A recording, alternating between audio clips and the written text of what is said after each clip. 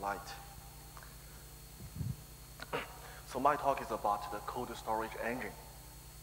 Engine means that uh, this is the, the, the, the, core part of the cold storage system, and uh, it is open source. And uh, beyond the, the open uh, the, the cold storage engine, there are some other business logic, uh, and uh, they are not open source. So, so only the storage engine I can mention here. And uh, why am I?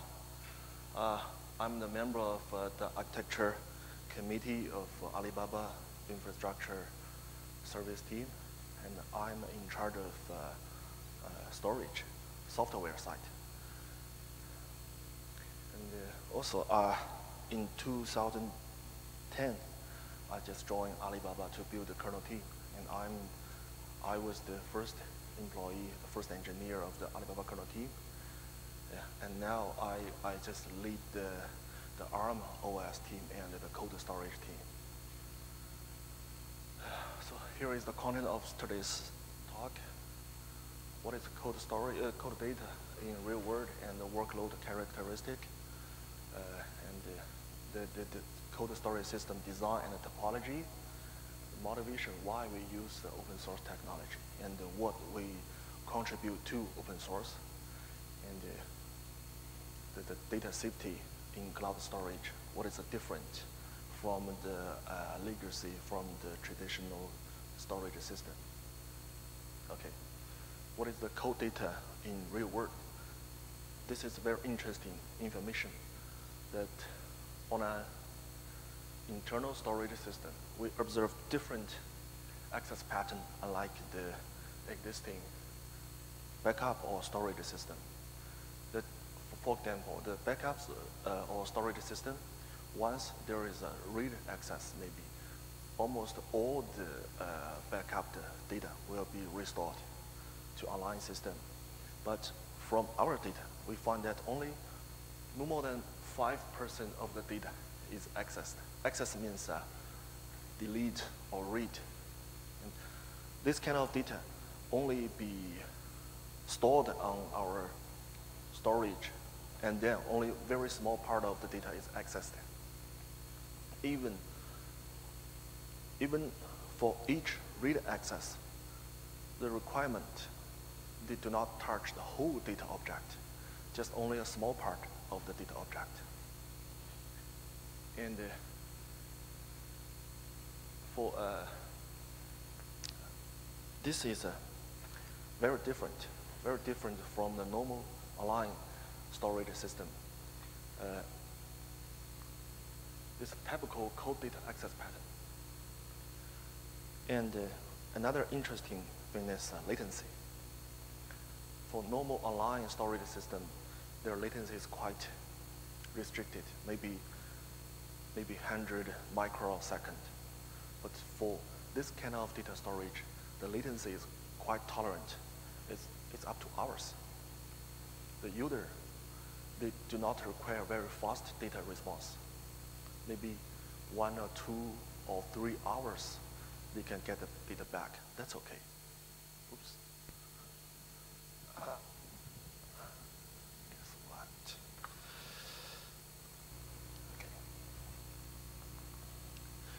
So in this case, the high performance is not the first priority. Uh, our internal custom does not require very high throughput or low latency. They don't require about this. And this is what the typical storage system requires in most of the cases. And uh, access latency is in hour. That's okay. That's a response. That's a requirement from our internal customs. The internal customs means the other engineering team who build the, the business system to serve for the end user. We, we are the infrastructure team, so we serve for our internal customer. The high durability is critical. Uh, there is no high availability requirement. So the network out of work and the power failure, even the operating system crash is accessible. Once everything get back to work, we can find the data on the disk, that's okay.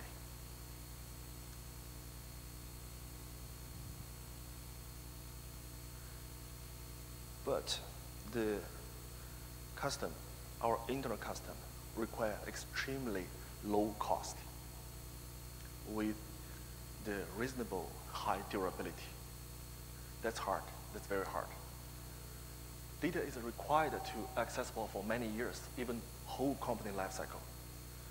This is not only the requirement from our internal customer, also from government. Because we are a line training company or a line, maybe some user use the cloud infrastructure for their online training, trading, trading.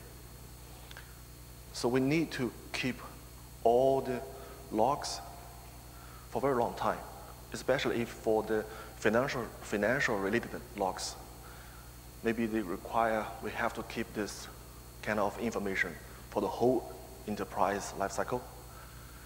Uh, data site increase very fast, very fast, it, especially for the internet company like us. Yeah, there is a number that on last year, 11.11 shopping festival. Just a single day, we got a 9.3 billion in GMV, just a single day. So the data increase very, very fast. It's crazy. So extreme low storage cost is critical, especially in the exabyte, exabyte data to store.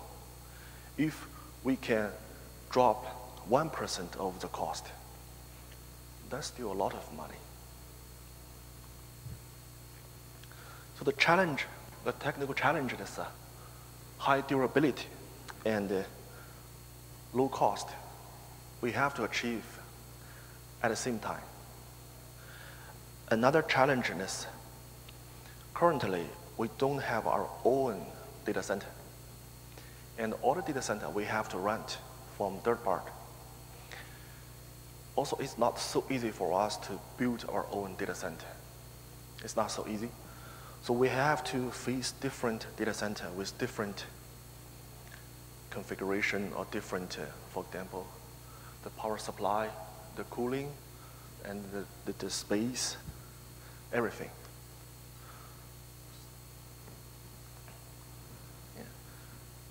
So the cold storage hardware is required to scale from a PB to EB. Depends on which kind of data center we can run.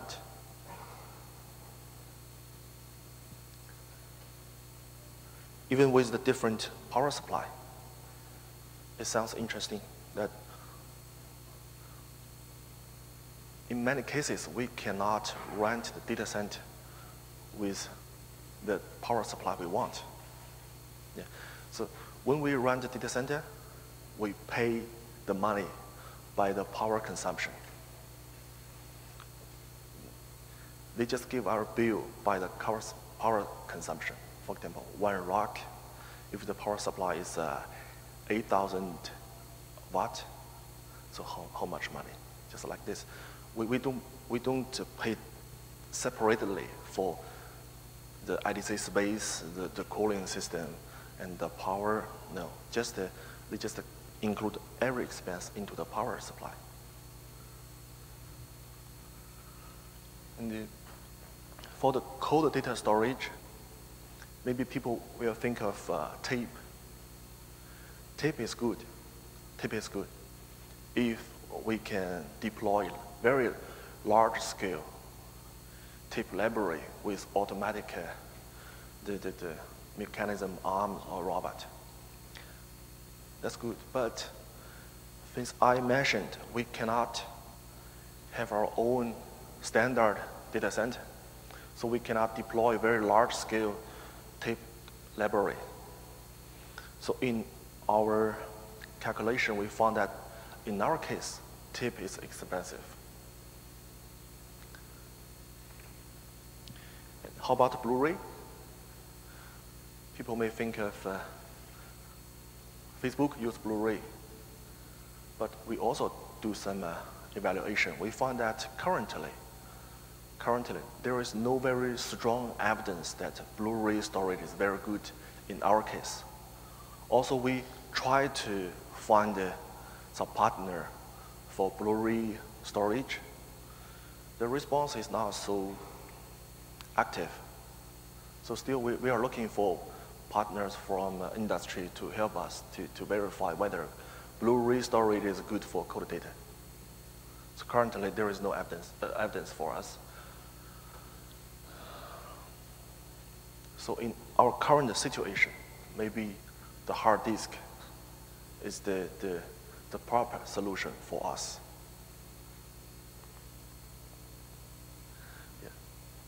So this is the hardware we design for cold data storage. Here you can see that there are 18 hard disks in one U box. The hard disk is uh, 4 terabyte or 8 terabyte low performance. Low performance means they're just around uh, 5,090, uh, 5,900 RPM, row per minute.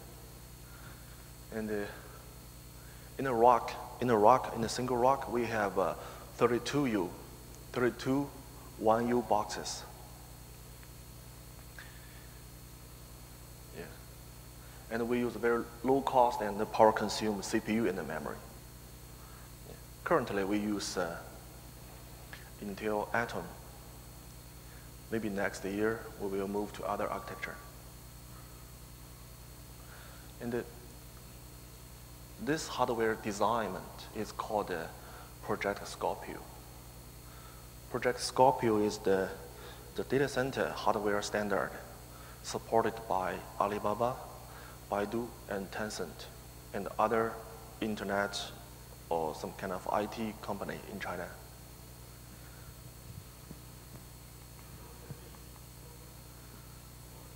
We don't have that. Uh, on the on the rack, every four 1U box, we share for big funds. So you can see there's no power supply. Yeah. The, power is also on the rack.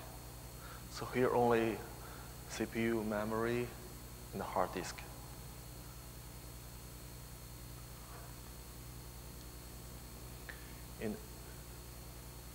For the cold storage, we do not use a very large cluster topology like uh, Hadoop. No, that does not work better for us. We, we just uh, divided a lot of hard disk, a lot of storage into small group of machines. We call that subclusters. You can see the picture. For example, there are four racks, four racks, and we divide all the nodes into several subcluster. For example, here we have four subclusters. And the subcluster is the minimal unit for software-defined storage, which means that if we need to extend the storage we do not add more machines to a cluster. We do not extend the cluster size. We just uh, add more subcluster. So when a subcluster is full, just turn the whole cluster, the whole subcluster, into a sealed state. The sealed state means that uh, the CPU, will, CPU and the memory and other devices will turn into a low power consumption state. And uh, we will shut down the power of all the hard disk.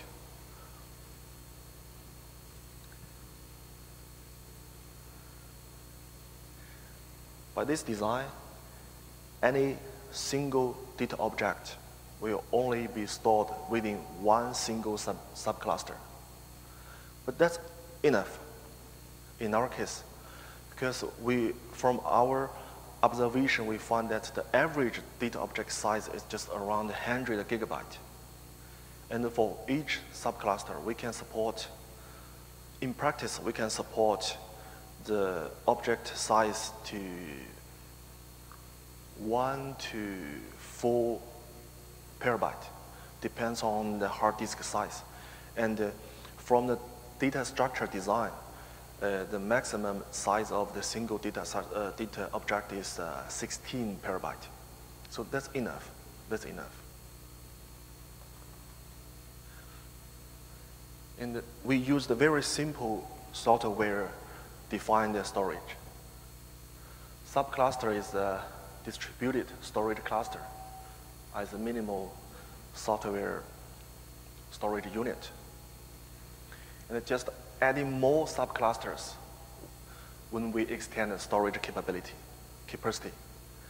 No matter how large a cold storage system will be, we only focus on a single subcluster for the communication, for the stability, for the scalability. So by this design, we do not challenge the age of technology. Just a very small cluster. It should be stable. No matter how large the, the, the, the whole storage system is. Yeah, small storage cluster means uh, simple. Simple means uh, reliable and uh, stable in large scale system. We don't want to spend too much time to reproduce some bugs. What's the, what's the software stack? I will mention later. Here I just introduce the design, and uh, later I will mention the, the very brief implementation and uh, some uh, specific points we think about just for cold storage. This is how we deploy the whole system. Just imagine this is one rack, and each rock, there are 32 boxes. We just imagine in a data center we have uh, this number of rocks. Because we use subcluster, so the whole rock, only a small amount of machines are in active state. I mark it with the right color. For other machines, they are full of data. We just turn the storage devices into sealed state. So they are in the low power consumption state, just like this. And for the green one, they are free servers. They are empty and are ready to be used to, to, to store the data. So no matter how large the whole system is, only a very small group of the server is active. They are active for, for data writing. Why we can do this is because in the first page I mentioned, only a very small amount of data is accessed. Most of the operation is writing.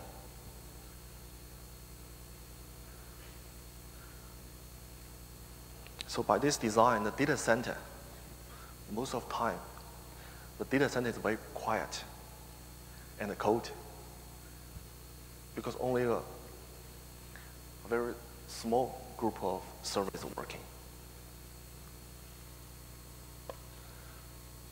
Now, I just began the software part.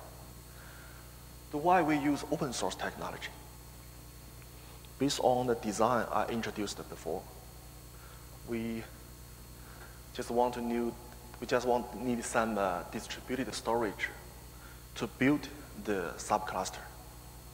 For the subcluster, we need some very simple function. The first is simplicity. We just want a very, very simple software stack. Very simple. Because the, the scalability of the, the whole cluster is very small. It's no more than 32 nodes. So we don't need, we don't need the, the storage system designed for a huge amount of servers. Just the simplicity. And the simplicity means that when new people join a team, they can understand the, the, the system very fast and help us to, to maintain the system. Because we are not a software development company. We are internet company. And we need the consistent hashing. Consistent hashing, we use that to distribute the data block among the different servers. In this case, we don't need a master node to the cluster. And we use erasure code. With erasure code, we can decrease the data replication with higher durability. I will introduce later for the advantage of erasure code. And we need a RESTful API. RESTful API is just uh, some uh, API standard for HTTP protocol. With this, we can test the system very easy and we can provide the, the compatible interface to other component, other up layer component of the whole storage system. So other than developing from scratch, it is more efficient to start from a simple open source project.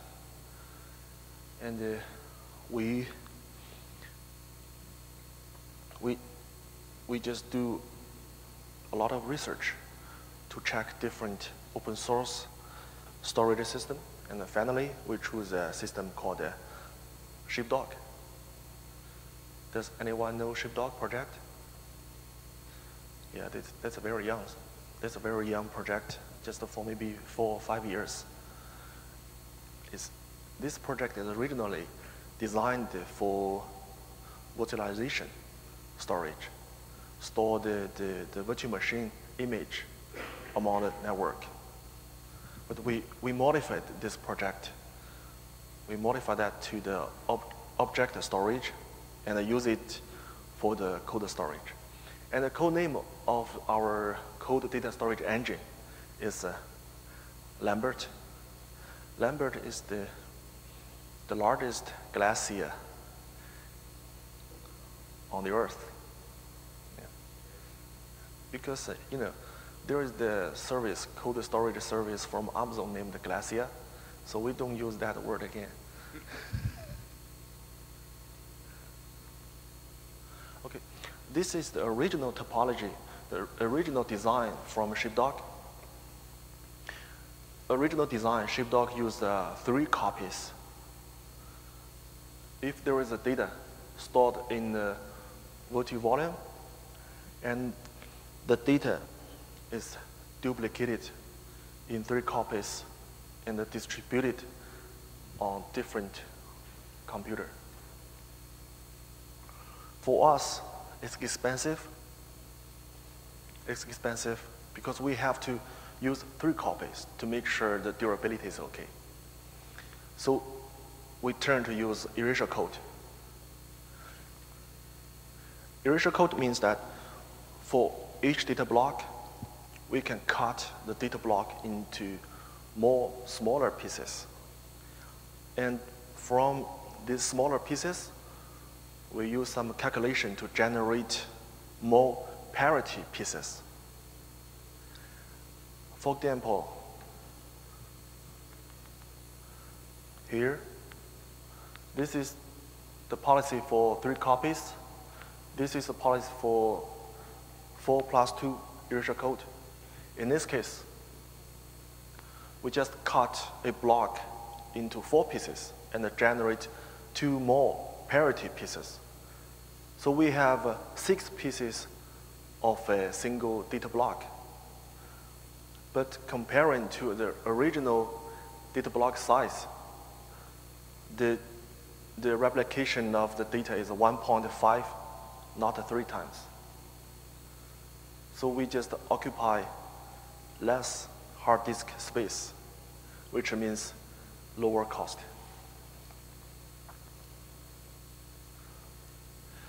In early 2013, the Sheepdog project only has a consistent Hashi storage framework.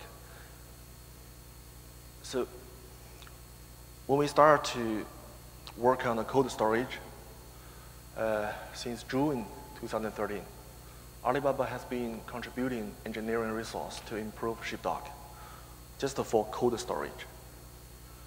Uh, this engineer, Yuan Liu, implements erasure code support with the zfec, zfec library, uh, with uh, many other Sheepdog improvement.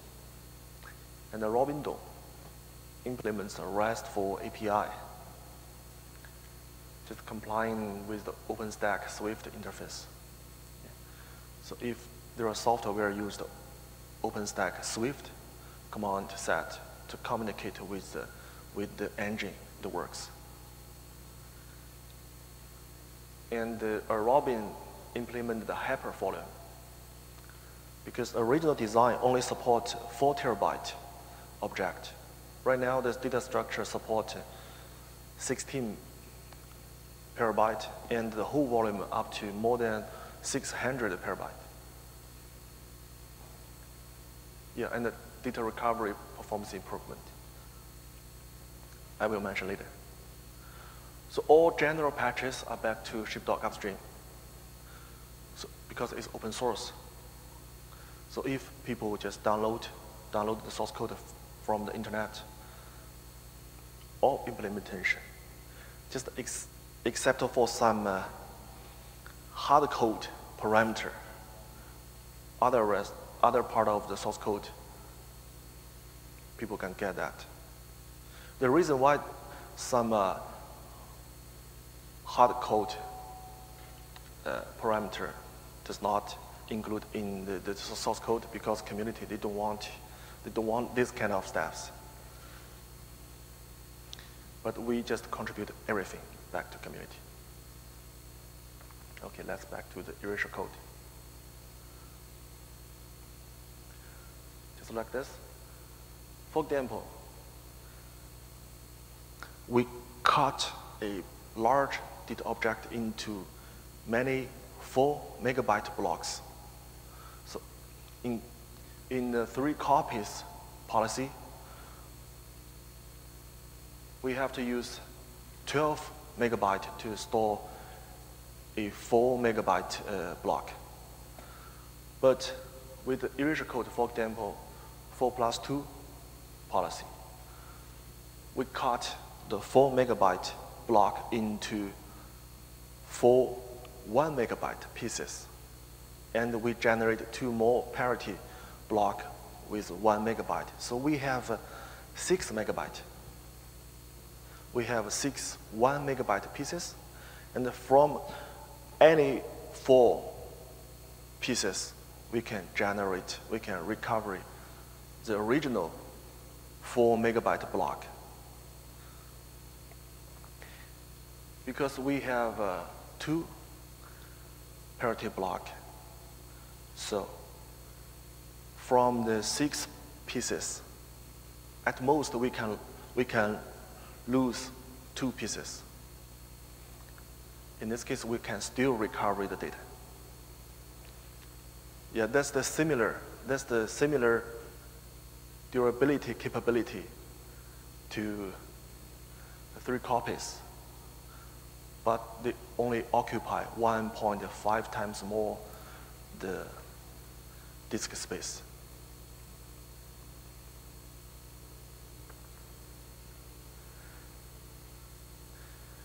And uh, yeah, here is some improvement for data for data recovery. And the original design just used a single thread. And now we use multiple threading to do the recovery. And uh, we also re optimize the recovery mode. The previous design that if a hard disk is broken, the sheepdog have, has to choose another hard disk on the same server. So the data have to be gathered from all rest machines into this hard, this server and this hard disk. It's very slow. It's very, very slow. And after the improvement, we just make sure every hard disk in the whole cluster join the data recovery.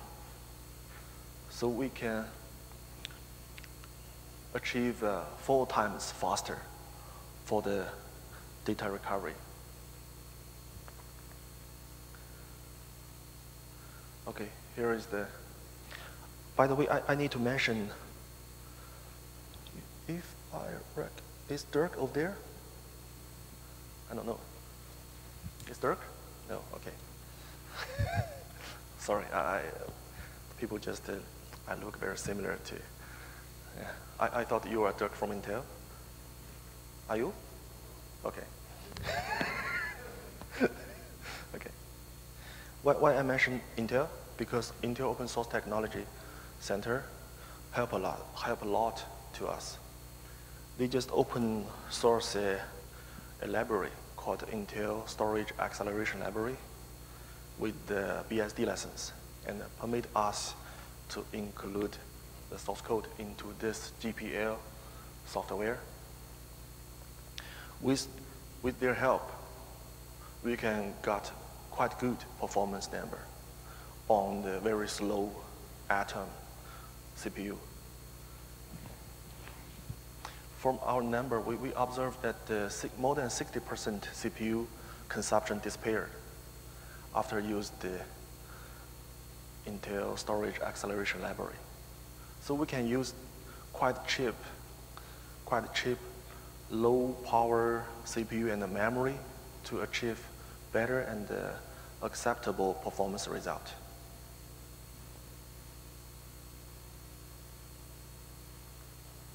Okay, here is the, now I will mention some uh, specific design for cold storage. That's uh, data safety in cold storage. For cold storage, most of time, cold storage is the last level of the whole storage stack in, at least in internet company. So many systems in front of the cold storage, cold storage system, they just put the data back, back. But in cold storage system, there is no other storage system we can put data into. So in cold storage system, there's the, the loss of data is not acceptable. We must make sure the durability is very high. For example, 10.9, can you understand that? 99.9999%, something like that. We call it 10.9 at least. Here's the example, how we cover, cover the data. This is four rack with four subclusters. If, and for example, the second subcluster, I use some uh, hard disk icon to, to display. Each one is just a, a hard disk icon, just for show. It's not exactly the, the the accurate number. For example, with the 4 plus 2 parameter, erasure code parameter, we just cut a data block into four pieces and generate two more parity pieces. So we have uh, six pieces of one data block. And for any reason, a hard disk is broken. It's broken here. It's broken. In this case, we still have another other one, two, three, four, five pieces of the data block. So we can still recover the data by the erasure code algorithm.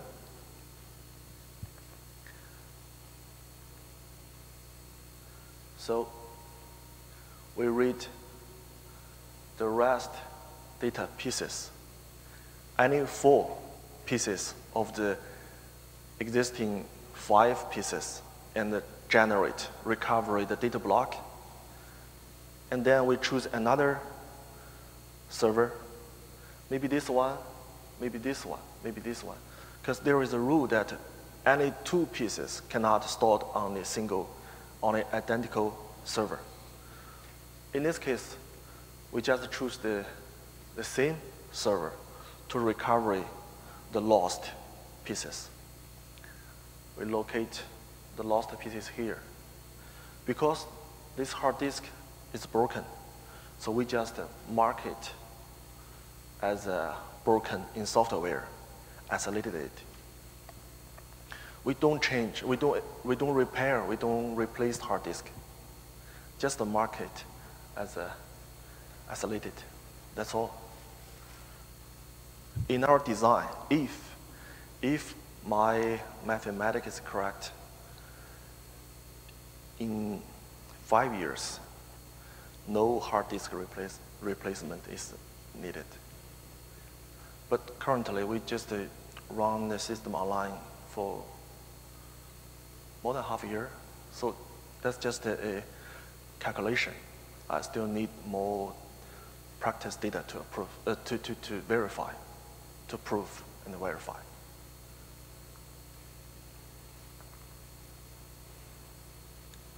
Yeah.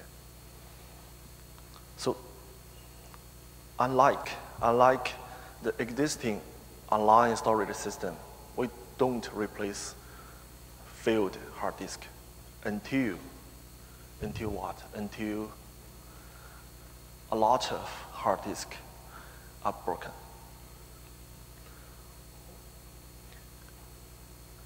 Until no space to recovery, no spare space to recovery more data. We, we use around, we just turn the subcluster into sealed mode if uh, 80% uh, of the whole hard disk space is full. And we will replace the hard disk if there are only 10% of the space can be used, which means that we can tolerate around 10% of the all hard disk fill, and then we replace that. If, if the hard disk vendor's information is correct, in five years, we don't need to change hard disk.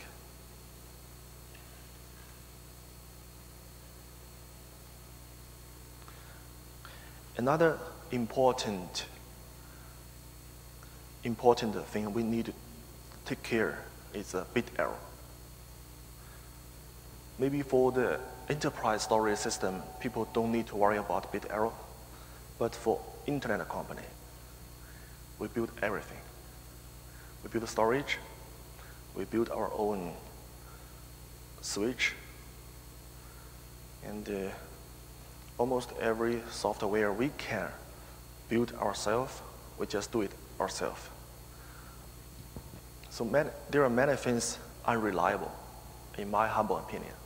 So even, even in underlying, underlying system, there is something like the checksum, error, detect, error detection, I don't believe that on upper layer the data is correct because there may be network error on the switch software, maybe some uh, memory hardware error, but the operating system does not find. Maybe just someone write a buggy code. So we need, we need to take care the, the bit error. The bit error means that a block of the data just changed. Changed by some buggy hardware or software. If that happens, that's nightmare.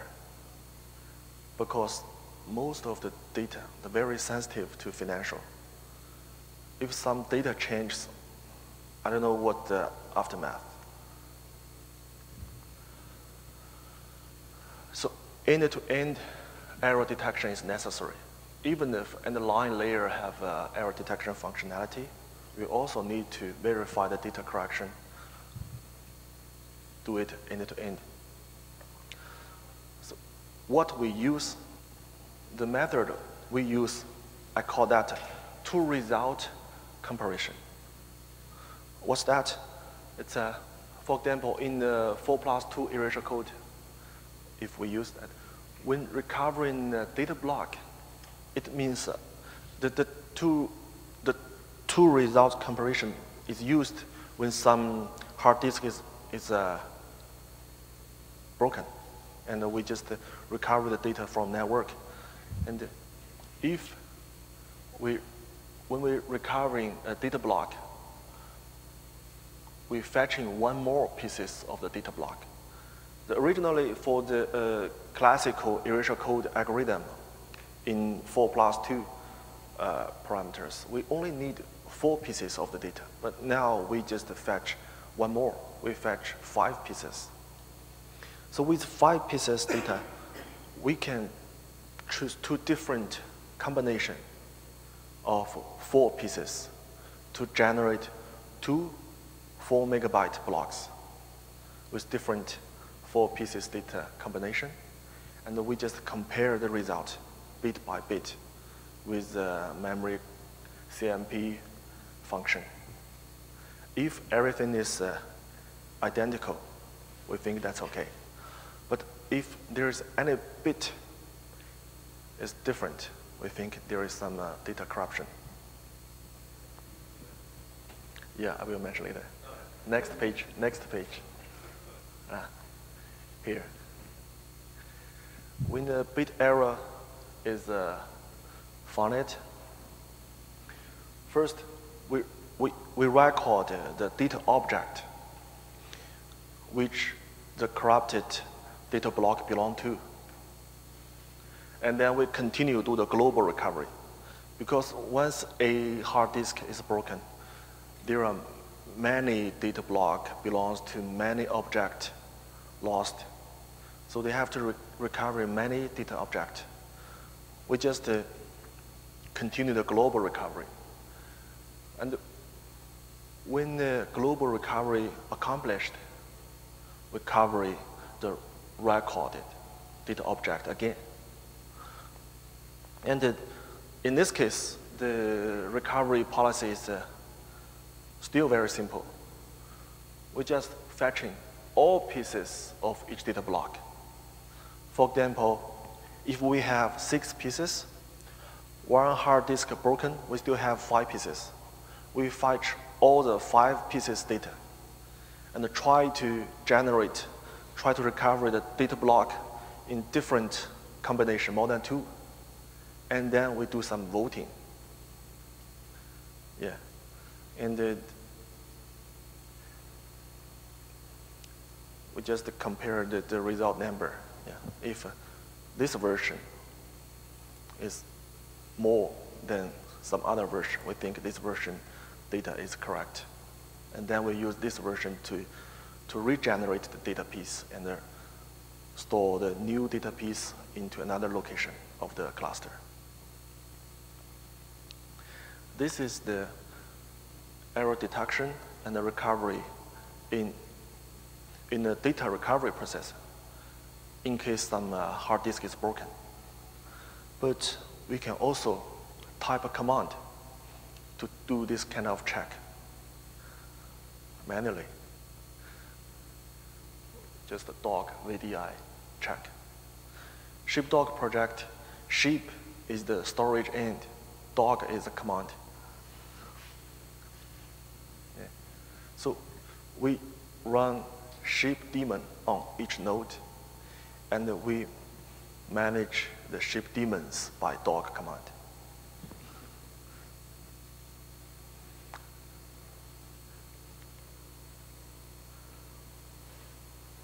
Yeah, and uh, here is the hard disk spin down.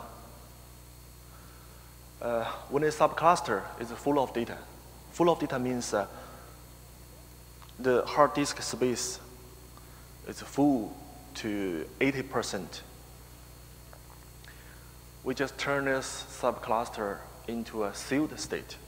Sealed state means that the service processes are queued. Of course, we will flash before queued. And the file system are UMount from the operating system. And all hard disks are power off. Use the spin down command. And uh, optionally, the whole subcluster can be isolated from network because we have another separated management network from the, the IDC data network. If user has uh, the requirement to isolate the data from internet, we just operate the switch, the network switch, the router via the management network and the switch the whole subcluster off from the internet. This is just uh, something similar to the offline, uh, offline tape. Yeah.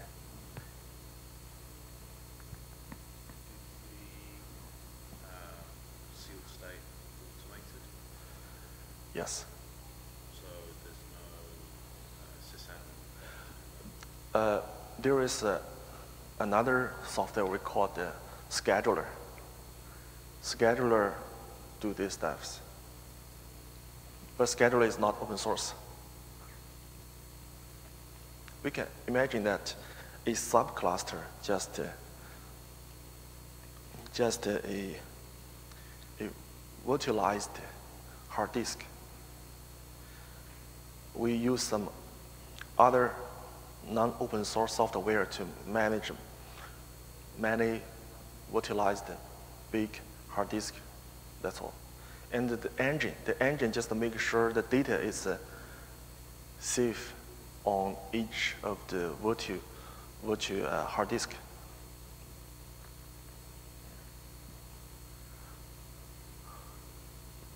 By, by this method, we can make sure that uh, no extra operations on the data because they are in a sealed mode.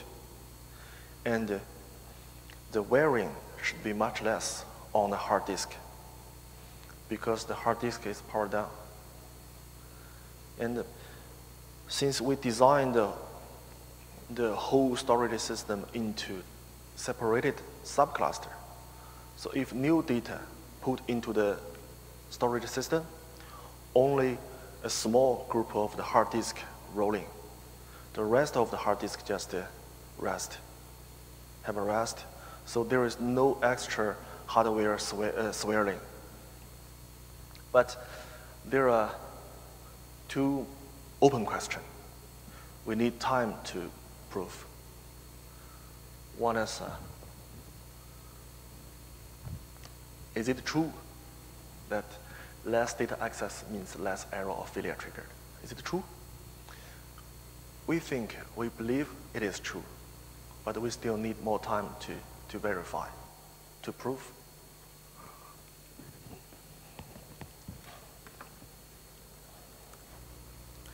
Another is, uh, is it true that less hardware wearing means less hardware failure? It should be true, but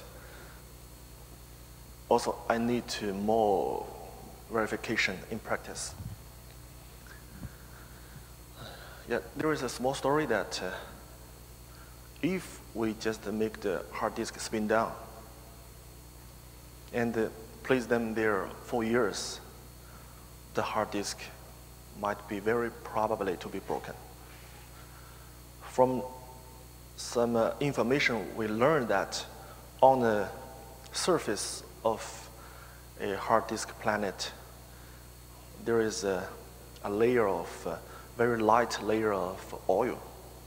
So if we just uh, place the hard disk still there for a very long time, I don't know how to say that in English, the, the oil will, will gather to a drop of oil, not uh, still a very tight layer.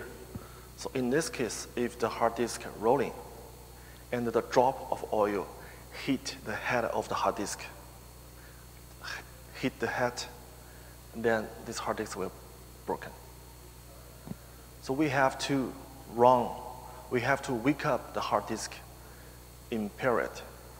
So currently, we just wake up the hard disk every month, do something, do some uh, data check, the hardware health check, and then we just make the hard disk sleep again.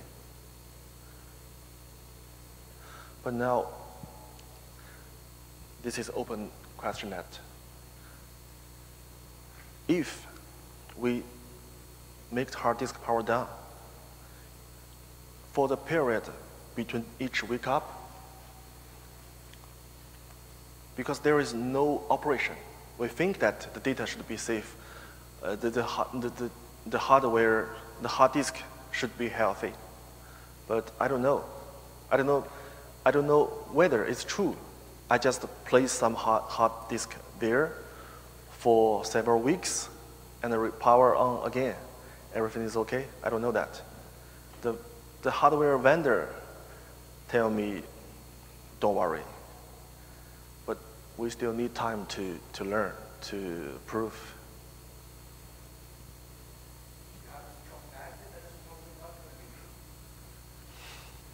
Yeah, yeah. And uh, another story is for SSD. For SSD, we also need to wake up the SSD. We also need to read the data several months once. Otherwise, the electronic signal will decrease and decrease. Yeah. Okay, this is the, the, the whole team, the engineering team in Alibaba, work on the whole cold storage system including the, the, the cold, storage, cold storage engine.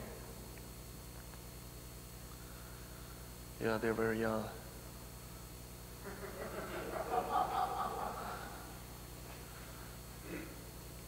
Yeah, most of the guys that just work, just work one or two years, just graduated from university. I'm old. Okay. Also, we need to thank, thank to the, the, the open source community. We work with community. That's why I mentioned Intel. This is Intel ISA library team. People here help us a lot for the performance improvement on Intel hardware. Yeah, also here is the list of the top 10 contributor to the Sheepdog project. Yeah, some of them uh, are or were Alibaba employee. Okay, finished? So we can discuss.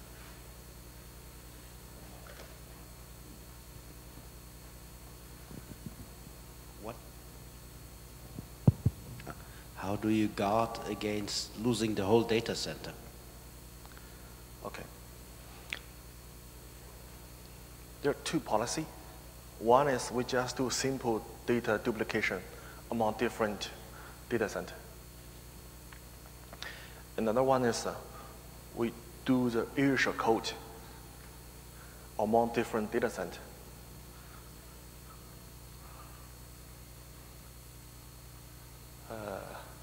back to this picture. Right now, we just distributed the data pieces into different server. But we can also distribute the different data pieces into different data center. Because, because the I.O. latency is in hours.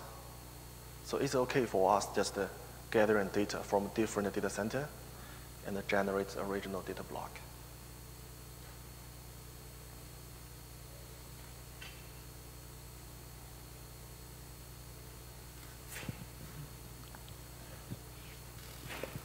So you said that the uh, RESTful API is Swift compatible, so you could, in theory, have this connected to an OpenStack deployment? I guess so, but we don't work on that. Because we just support, the, the interface here is very, very simple. Just uh, post, get, delete. It's very simple. And, uh, and we do not use OpenStack inside. We just use a very simple API to support uh, the command from upper line software.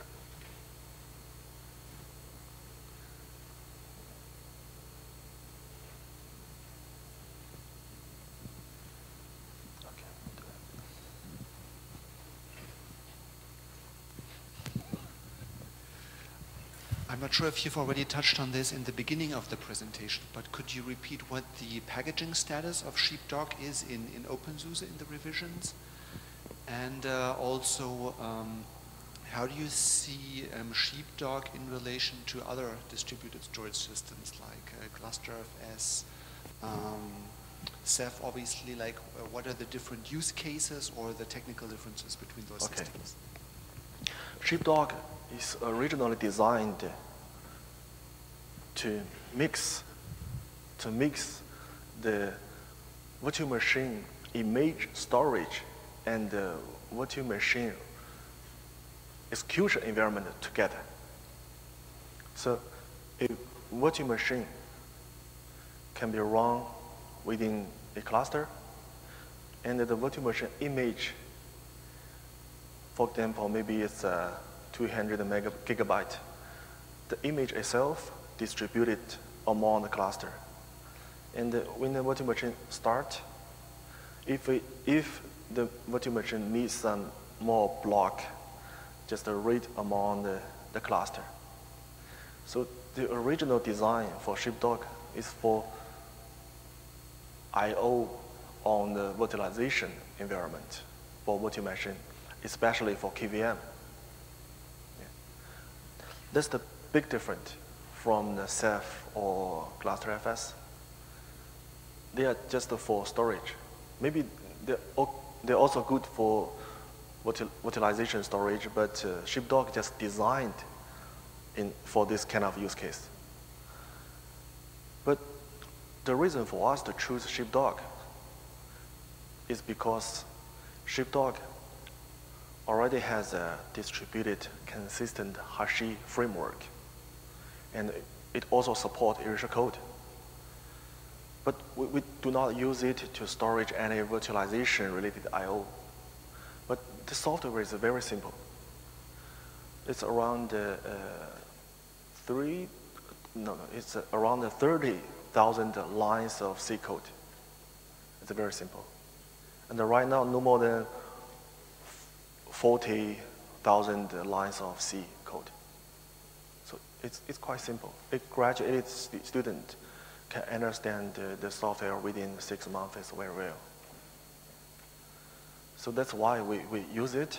But because it is designed for virtualization, we do a lot of modification.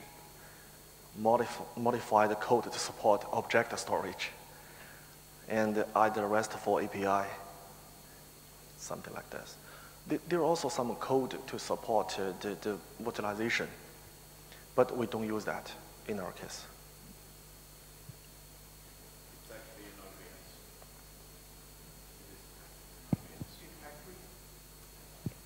No, it's not in factory.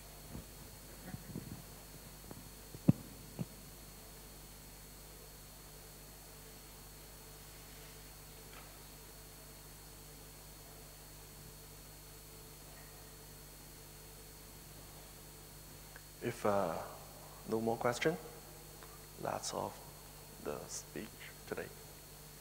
Thank you.